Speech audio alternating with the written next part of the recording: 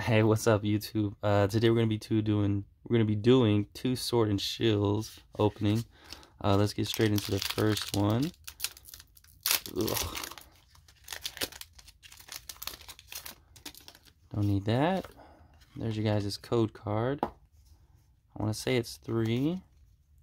Um, so let's go. We got a metal saucer. We got a quick ball. Got a mantine. Got a Galarian Ponyta. Uh, we got a Cottonee, we got a Scorbunny, a Silicobra, and then we got a Yamper, got a Reverse Kingler, and then a Boltund. Oh, it's four. Gosh darn it, I always do that. Alright, throw those to the side.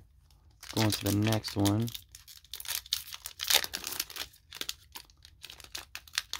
There we go. Code card. There you go. Four. Bam. I'm getting good at this stuff. Crap Energy, don't care about it. A Crushing Hammer, a Kingler, a Hyper Potion, a Scorbunny, a Silicobra, a Yamper, a Grookey, a Cufant, Cufant, uh, an Elagos, Eldegoss, a Reverse Holo, and then we got a Celebi V. Got, oh, wow, beautiful pull. Amazing, guys. So, again, sleeve it. Don't tease it, you guys.